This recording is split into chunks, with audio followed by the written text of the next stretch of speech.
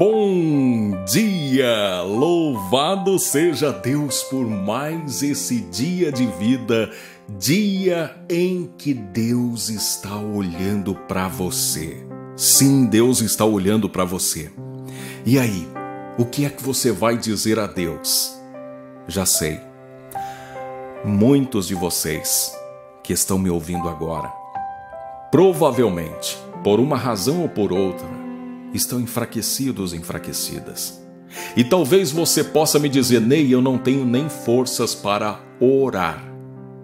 É por isso que eu quero orar por você.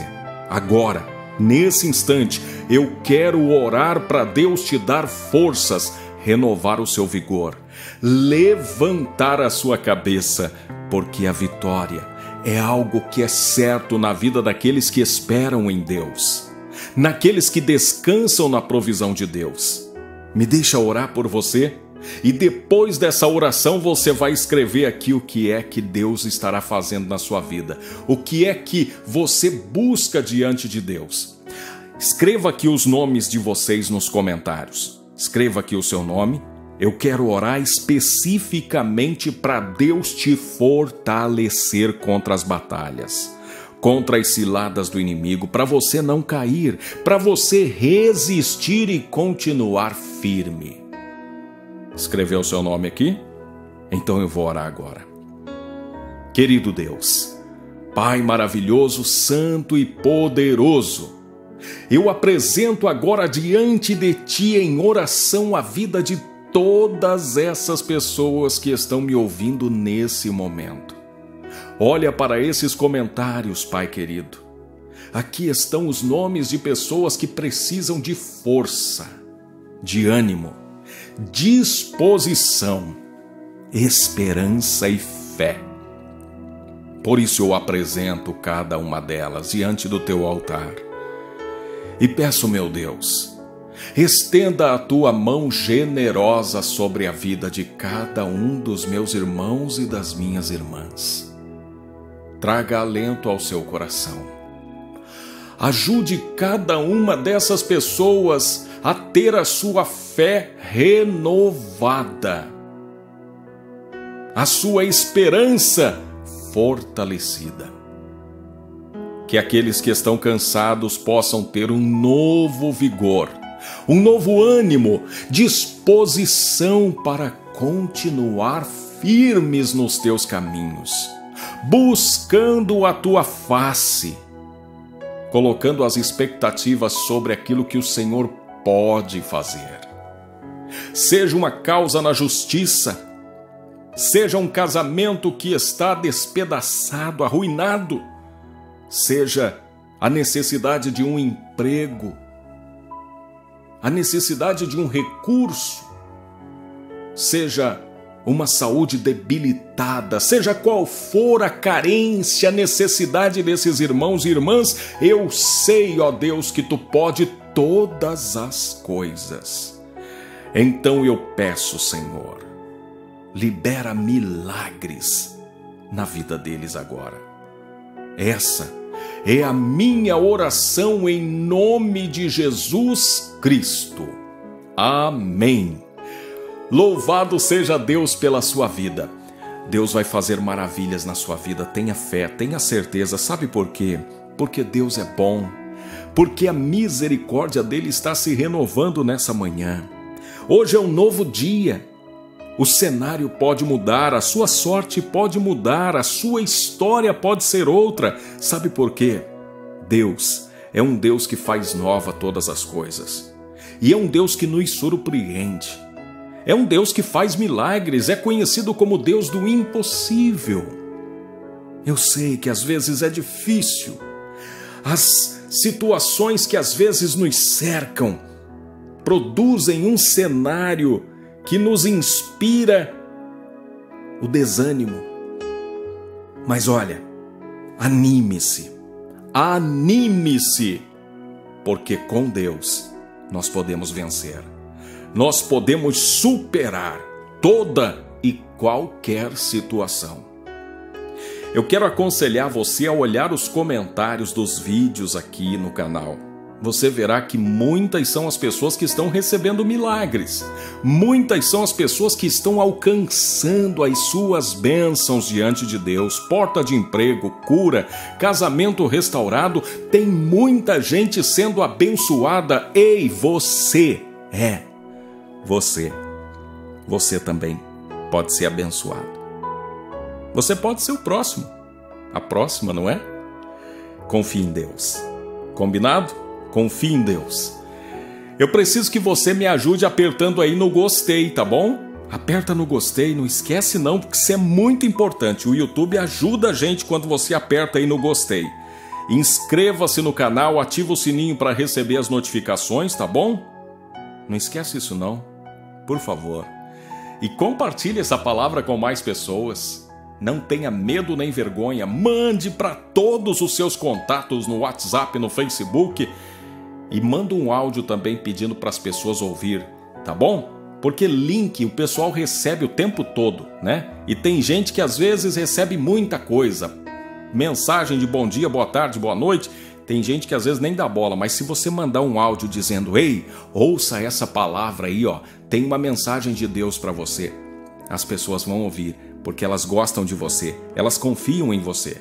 Talvez elas não me conhecem, elas não vão dar importância para mim, mas para você, você que é um parente, é um amigo, ela vai ouvir aquilo que você mandou, tá bom? Muito prazer, eu sou Ney Santos e é com alegria que eu trago até você agora, num oferecimento das livrarias Família Cristã, a palavra de hoje. Abra comigo a sua Bíblia no Evangelho de Jesus, segundo escreveu Lucas capítulo 6, versículos 12 e 13. Lucas, capítulo 6, versículos 12 e 13 diz assim: Naqueles dias retirou-se para o monte a fim de orar, e passou a noite orando a Deus. E quando amanheceu, chamou a si os seus discípulos e escolheu doze dentre eles, aos quais deu também o nome de apóstolos. Deixa eu te fazer uma pergunta. De quem essa passagem está falando? Quem é o personagem a qual essa passagem está se referindo? Acertou você que disse Jesus, o nosso Cristo. E aqui, através dessa mensagem, através dessa situação na qual Jesus se retira para o monte a fim de orar e passa a noite orando a Deus, eu quero convidar você para meditar acerca da importância da oração.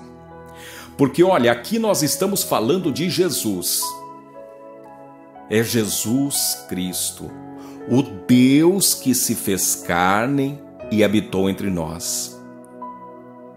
Jesus se retirou para o monte e passou a noite orando a Deus.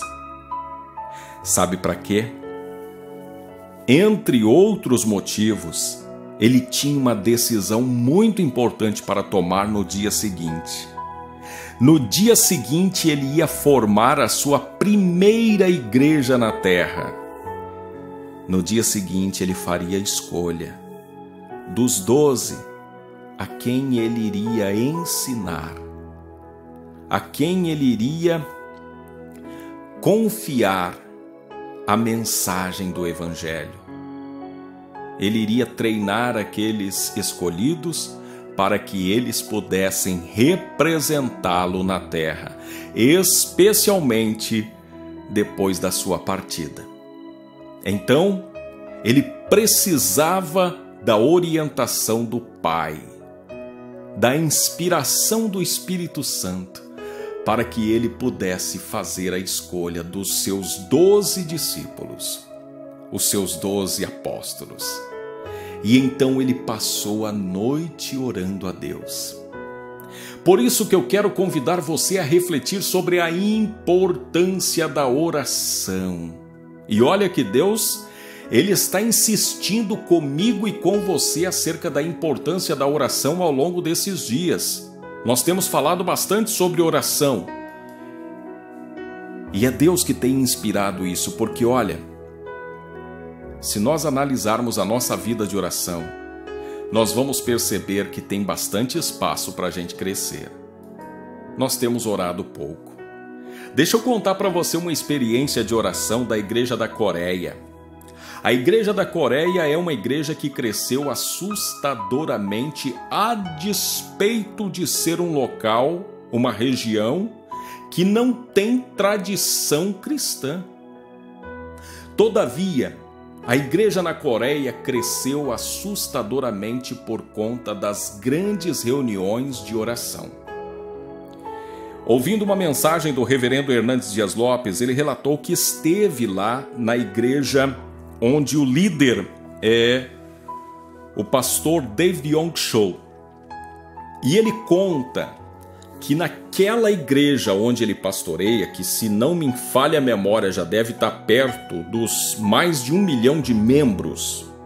Estou falando de uma igreja, não estou falando de dezenas de igrejas, não. Uma igreja só, com mais de um milhão de membros. Nessa igreja, às quatro horas da manhã, as pessoas se acotovelam para entrar, para passar uma hora orando. As pessoas antes de ir para o trabalho vão para a igreja e passam das quatro às cinco orando. Termina uma oração às cinco da manhã, começa outra. Das 5 às 6 tem uma reunião só de oração. Depois das 6 às 7 tem outra reunião de oração. Das 7 às 8 uma reunião de oração. Todos os dias. Daí você entende o porquê do crescimento do cristianismo nesse lugar. Agora, aqui no Brasil, eu te pergunto: será que nós temos igrejas assim, onde as pessoas se reúnem para passar uma hora orando? Apenas orando? Muitas das nossas igrejas às vezes têm reuniões de oração, mas a oração mesmo é 5 ou 10 minutos. Depois é cantoria, pregação da palavra, testemunho, avisos, e tantas outras coisas, mas a oração mesmo às vezes é um tempo curto. Por quê? Será que não é porque nós estamos deixando de orar o tanto que nos convém? Eu quero falar para você sete razões para você orar mais. Primeiro, oração acalma. Se você anda angustiado, atribulado, perturbado, ansioso, ansiosa, ore Converse com Deus. Feche a porta do teu quarto. Derrame o seu coração na presença de Deus. Você vai perceber que a oração acalma. Segunda razão para você orar mais: oração nos conecta com Deus. Se você tirar um peixe fora d'água, você percebe que ele vai perdendo a vida, o vigor e ele pode morrer. Se você arrancar uma planta do solo, tirá-la da terra, você percebe que ela murcha e ela pode morrer, secar. Da mesma forma, o ser humano, quando ele fica desconectado do seu Criador, a tendência é ele enfraquecer, desanimar, morrer espiritualmente. E a oração é algo que nos conecta com Deus. Terceira razão para você orar mais: oração não tem contraindicação. Você pode orar em qualquer lugar, em toda hora, em todo momento, em qualquer situação.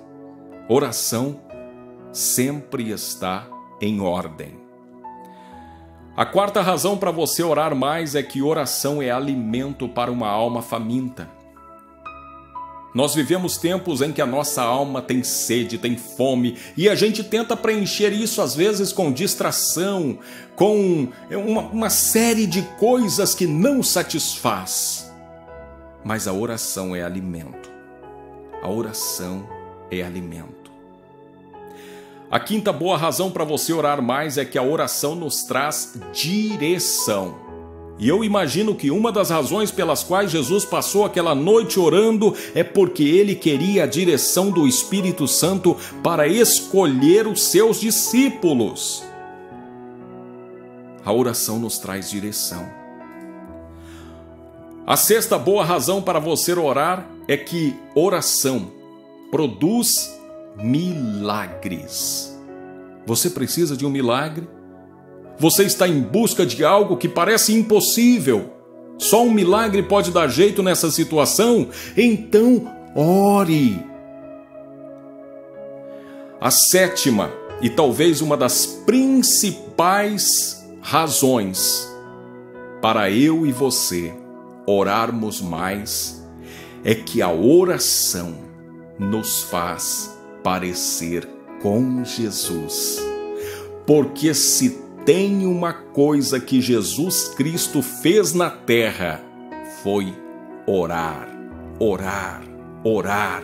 Ele acordava alta madrugada, se retirava para um local deserto e ali orava. Naqueles dias retirou-se para o monte a fim de orar e passou a noite orando a Deus. Se nós queremos parecer com Jesus, nós precisamos orar. Nós precisamos nos conectar com o nosso Criador nós precisamos invocar a presença do Espírito Santo e buscá-lo em oração, apresentar aquilo que temos de necessidade, aquilo que precisamos de direcionamento, as decisões que precisamos tomar, os milagres que precisamos na nossa vida, colocarmos diante dele em oração e certamente, se formos perseverantes, se nós orarmos sem esmorecer. Conforme disse Jesus, embora pareça demorado, certamente depressa nosso Deus nos fará justiça. Vamos orar.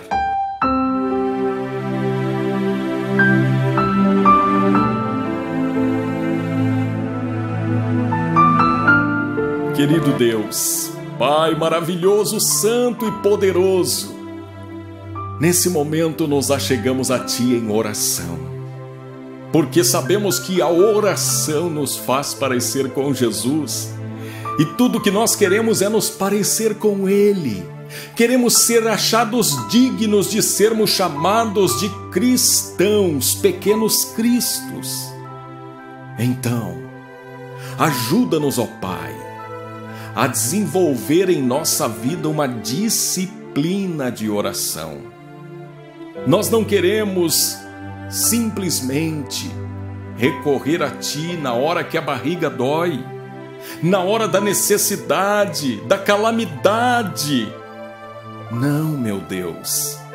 Queremos estar na Tua presença, queremos Te buscar, queremos nos conectar contigo, queremos conhecer o Teu propósito em nossas vidas. Queremos estar mais perto de Ti. Queremos fazer a Tua vontade, obedecer os Seus desígnios para nós. Senhor, precisamos muito do Teu favor. Precisamos muito da tua intervenção, da tua boa mão sobre nós. E nesse momento, ó Pai, eu recorro a Ti pedindo milagres para a vida dos meus irmãos e irmãs, pessoas carentes, necessitadas de um milagre em suas vidas. Olha para cada um desses que deixaram os seus nomes e seus pedidos aqui nos comentários. São muitas as pessoas, ó Pai, que precisam do Teu favor, precisam da Tua bênção, mas acima de tudo, precisam da salvação que só o Senhor pode nos dar. Meu Deus, atenda o nosso pedido, nosso clamor, e faça com que ainda hoje irmãos e irmãs possam testemunhar a sua vitória, glorificar e exaltar o nome do nosso Senhor Jesus Cristo, e assim vamos engrandecer o teu nome exaltar o teu nome, testemunhar as bênçãos, os milagres, as maravilhas que o Senhor fez em nossa vida. Que esse dia seja um dia cheio da tua paz, da tua presença.